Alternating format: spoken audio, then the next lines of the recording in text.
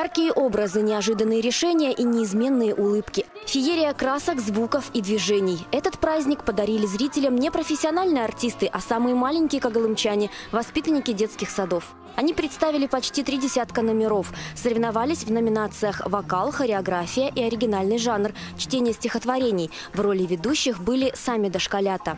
Всем здоровья, счастья, радости желаем.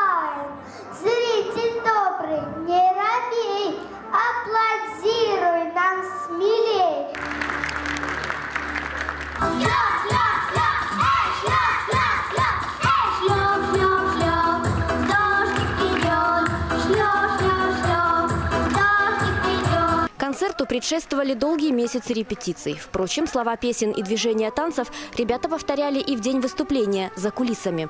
Будет ромашки собирал и пел о том о сём. Обел о том, что поутру кушинка расцвела. И песенка у домика улыбчивая была. Наталья Андреевна и Дания Даниловна, так нам представились воспитанницы сада Чебурашка, вокал демонстрируют вне конкурса. Они задействованы в подтанцовке, но уверены, что и спеть могут не хуже солистки. Главное, говорят юные артистки, на сцене не волноваться, тогда и выступление пройдет успешно.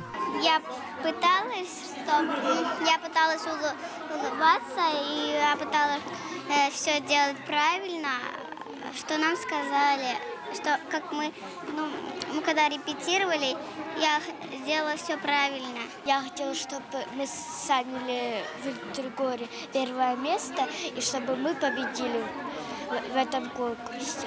И я.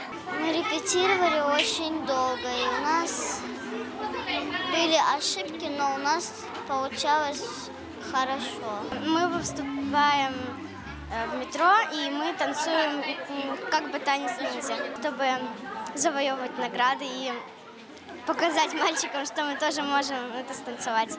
Сейчас мы танцуем в парах. С большими девочками. С большими девочками, да. Они нас держат, и мы, получается, куклы.